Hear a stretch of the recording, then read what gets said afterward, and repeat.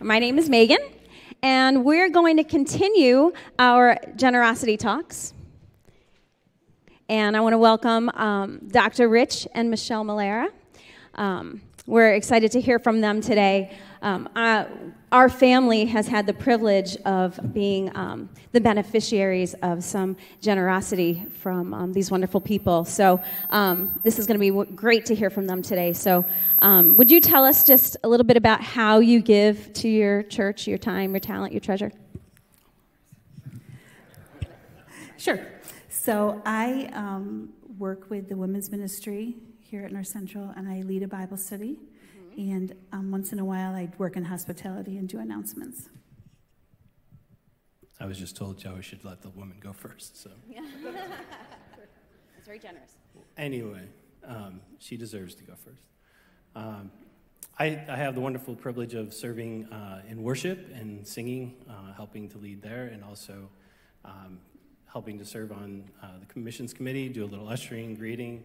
Um, it's it's uh, a fun variety. Mm-hmm. Mm-hmm. Yeah. Let me mention these guys have been. How many years have you been uh, members at North Central Church? A long time. uh, we were married here in '89, um, and we were certainly attending before then. So mm-hmm. it's been over 30 years. Okay, so from your young married life until now, you've been um, generously giving. So why? Why do you give? Um, well, I better keep to my notes. guys, you settled in? Uh, for me, um, I feel like we learn a lot of things from our parents. Um, at least if you had parents who um, brought you up in the church, um, that was just kind of what you saw, what you learned. Um, my mother was a florist her way of giving was preparing uh, an arrangement, a fresh flower arrangement, um, and having it put on the communion table um, every Sunday. Uh, my father uh, was a greeter, usher, uh, sang in the choir, um, served on the board.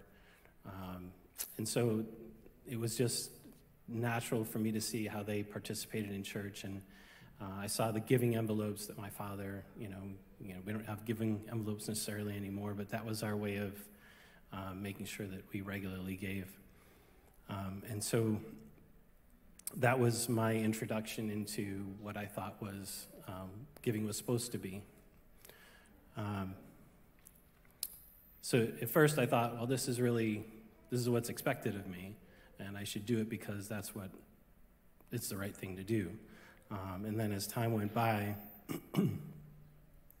I came to understand that it wasn't just a duty, but it was a privilege to um, serve God with my time, talent, and treasure that He had not just blessed me with, but entrusted me with. Um, it didn't need, I didn't need all those things for me to tell me what was um, right. I knew in my heart that um, God had given me and blessed me with so much, and, and it was an honor to give back um, and a privilege to give back. And those are just some of the ways that we did that. Well, um, I forgot to mention that we regularly give financially to North Central as well. Um, we always have. In the lean years we gave, in the years of abundance we gave, it was just something that we did. Um, as a, he's right. As a child, I grew up in a family that we gave as well. Um, so we were given allowance. M- my parents were very um, strict about us being financially um, fiscal with our money. So we would put money in savings as a little kid. Uh, we had money to spend and we had money that we gave to church. And they believed giving to church was so important that when we planted a garden, we would give the first of every fruit to the pastor of the church, the vegetables. We so it's something you can do now, and he seems like he'll appreciate that. So we always gave. Um, but to think about why we give, I personally believe giving is a matter of the heart. In Proverbs 4, it says, Guard your heart above all else because it directs the course of your life. So your heart directs your actions. So it's not about what you give. Oh, I give this much time, this much talent, this much treasure. It's not about that. It's the why behind the what. So when I looked at this question, here's my why because God's work and God's people matter. And if they matter to God, they need to matter to me.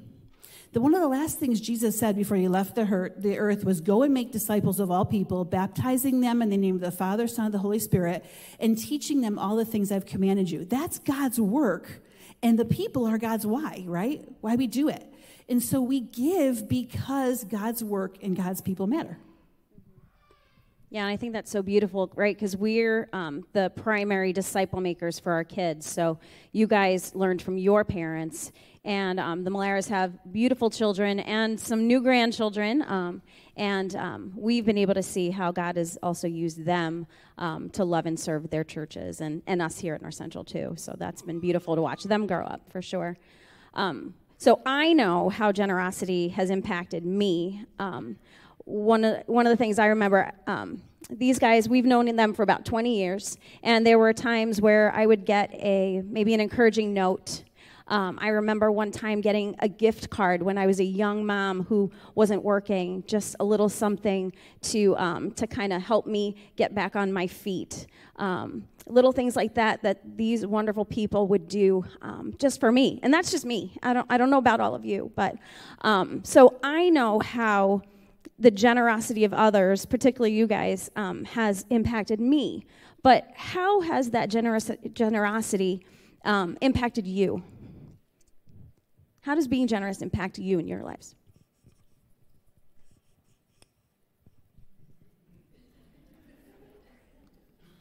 You know she's a better speaker than I am. Yeah. So you might as well end with the better part, so I'll go ahead. So I'll just say, um, she'll talk about this a little bit more, but giving is a, is a form of stewardship. Um, God gives us what we have um, and provides it for us. We don't necessarily earn it or deserve it, um, but He gives it to us, everything in our lives, to steward. And stewardship is important because, you know, things over time, things don't matter. Um, but stewarding them well makes them better. And we need to steward what God gives us, whether it's our money or whether it's the things that He provides for us. Um, and He's given us a place in this family. This is the family of God, and we're part of the family just like you. And if we're not giving to the family in some way, we're not helping provide a way to meet a need that God might have um, for us to give to. Um, as many of you know, I have um, a big heart for missions, missionaries, and those that serve full time sharing the gospel. And I, I love, first of all, watching Michelle talk and teach others uh, about the Bible on Zooms or in person with students um, or adults, doesn't really matter. Um, she teaches me every day, um, and, and I'm, I'm grateful for that. Um, it's just amazing to me how she makes the Word of God come to life in practical ways for those she shares, shares it with. And for me, um, medical missions is a, something I love, and um, I haven't been able to do that, but um, we were able to do, um, do serve the central New York community through the Emmaus uh, Vision Center. And uh, in the clinic yesterday, I was just reminded, uh, like many times, that we have a chance to share Christ um, with someone in need, giving my time and my talent because that's easy for me. Um, but sometimes sharing Christ isn't as easy. But the desire is that they would see Christ and that I would be able to share Christ with someone who has an open heart. And so giving makes those opportunities, well, whether it's giving our time, talent, or treasure, giving makes those opportunities happen. Um, and with all of that in mind, I just wrote this one last thing. It says, Every day we have an opportunity to use what God has placed in our lives to make a difference in the lives around us so that ultimately people will see Christ and the hope that He has given us so that they can turn to Him and know that hope as well. So, by giving, you're not giving because it's about you, you're giving because it's all about God. And He's the one who makes the difference in what you do with what you give. See, I didn't have to sing anything. but I do want to share one thing. Okay, so a lot of you know that I'm very competitive. In fact, I will cheat to win. It's just, it's just who I am. I'm working on it. But I'm really not working on it. I just said that so I sound more godly. But here's what I think. I know, we know she's not. I know. Everyone who knows me know I'm not. Okay, but this think of using your time, talent, and your treasures like playing Uno. All right? So, one of my best definitions for stewardship, and I hope I can remember it, it's like using our God given abilities to manage our God given resources so that we can accomplish God given feats and, and things, so we can do things for God. So we all have time, talent, and treasure that God gives us, right? The one thing we all have the same is the time. We all have the same amount of time. Even though you say, no, I, you have more time than I, or whatever. No, we all have the same amount of time. We have 24 hours in a day.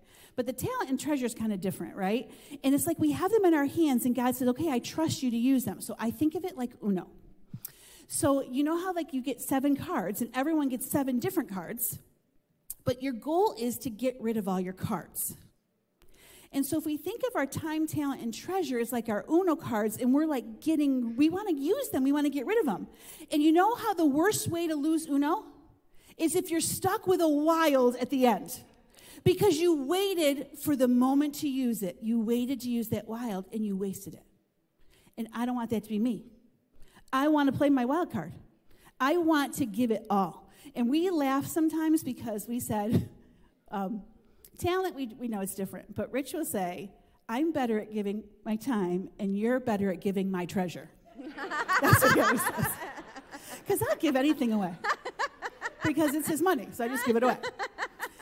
So, and so how I've combated that is I have this post-it note that has the word time, and it says, things I must experience, and the must is in capital letters. Because I don't want to give my time, but if I think I'm going to miss out on something, I'm going to give it. So that's how I, I've learned to like be better about giving my time because I must experience it. I don't want to miss out. Mm-hmm. But I don't want to be stuck at the end of life with a wild card that I could have used and I didn't use it. Mm-hmm. So give. Give your time, give your talent, and give your treasure because God's work and God's people matter. Mm-hmm. Amen.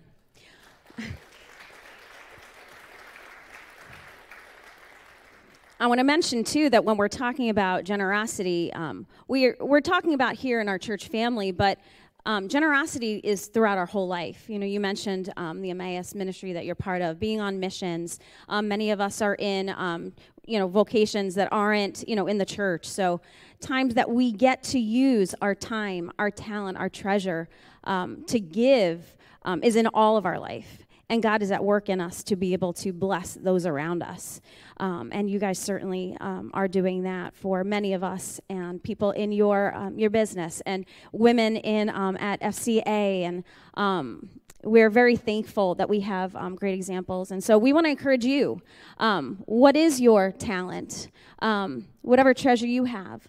We all have 24 hours. Um, but um, just pray and ask God how you would give um, in your life um, for His glory and for your good too. So thanks to you guys so much.